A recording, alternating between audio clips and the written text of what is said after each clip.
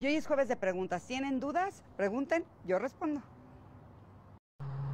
Nunca, nunca jamás, porque yo llevo en mi pecho los colores de la América desde que era una niña. Mi papá siempre le ha ido a la América. Es como una tradición familiar. Nunca. Corrí el año de 1994 y yo empecé en Televisa en marzo. Primero di el estado del tiempo de voz en Ofeneco. Al año siguiente empecé a darlo a cuadro, así que hagan cuentas. Ya son casi 30 años dando el pronóstico del tiempo, aunque consideren que me salí cuatro años, que fue justamente cuando tuve a mis tres niñas.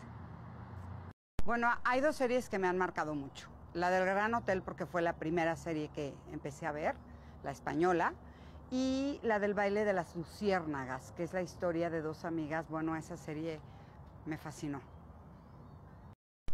Sí, soy romántica, sí soy apasionada y más que creer en el amor a primera vista, sí puedo, bueno, sí creo más bien que hay atracción a primera vista, pero estoy totalmente consciente que el amor realmente va surgiendo con el tiempo. No, no, no, para nada me molesta que me chulen las piernas. La verdad es que fueron siete años de ballet, que ni siquiera me gustaba ir. Así que bueno, pues por lo menos valió la pena, ¿no? Hay una marca que se llama Perfumérica que me encanta, síganlos en las redes, porque te hacen la esencia con base a tus gustos, pero ese ya se me acabó. Y como me gustan mucho las esencias de vainilla, ahora estoy usando el de Sara de vainilla. Quesadilla va con queso y con papa.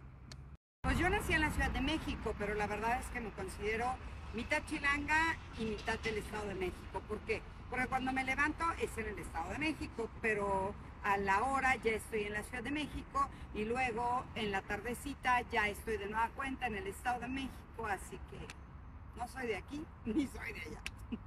Pues cuando nació Ana Paula, que es mi hija mayor, yo tenía 30 años, porque ella nació el 18 de agosto, pero a los tres días de que nació, como yo soy del 21, ya tenía 31. Cuando nació Pame, que es la mediana, tenía 33, y cuando nació Regis, que es la chiquita, 35.